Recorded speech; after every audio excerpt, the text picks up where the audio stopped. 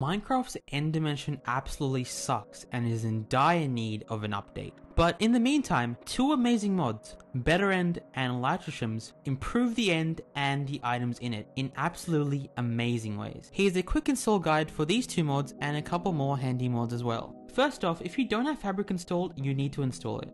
Simply search Fabric Minecraft and open the fabric.net website and then click download for your version.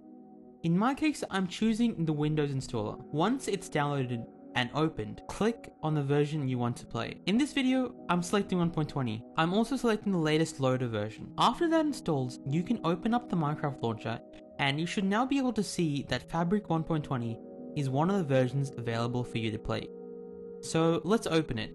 Uh, once it installs and opens, which might take a minute or might not, uh, go into options, resource packs and open the pack folder.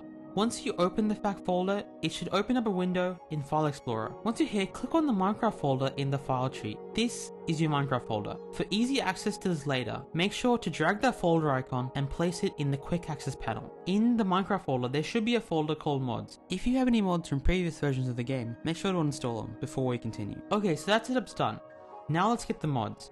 First, search up Fabric API and open the Modrinth link and click on 1.20 and click install. While you're downloading it, it might say it might harm your computer, but it's perfectly fine. It's just because it's a jar file. Now, still on the Modrinth website, click on the mods section. And let's search Better End and click on that mod. Choose 1.20 and click download. While we're still on that page, there should be a dependency section and one of the mods listed in the dependency section is bclib. This is just a mod that this better end mod needs to function. So let's click on that, just select 1.20 and download that too. Now onto the other mods, go back to the mods page and search Elytra Trims and download that for 1.20. Now onto some optional but highly recommended mods. First, download Sodium. This will double your FPS, so you know, definitely get that. Now, if you're playing on my Minecraft server, which you should totally join if you haven't already, you need to get the simple voice chat mod too, to communicate using proximity chat with other players. If you don't want to do that, it's fine, you can just skip this step. Just scroll down the mods page and select simple voice chat, and download the 1.20 version of that too. Okay, now for the final steps. Copy all these mods from the download folder or wherever they're saved.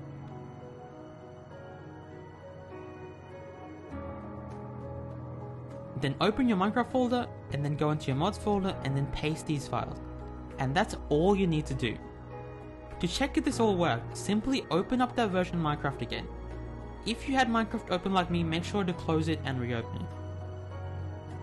Once it's open, there should be a simple screen showing that you've installed Better End. And once you've gone through the steps listed there, that should be it. You've installed some handy Minecraft mods. If you've got any questions or any issues, feel free to comment them down below or post them in my friendly Discord community. Thank you and have a wonderful day.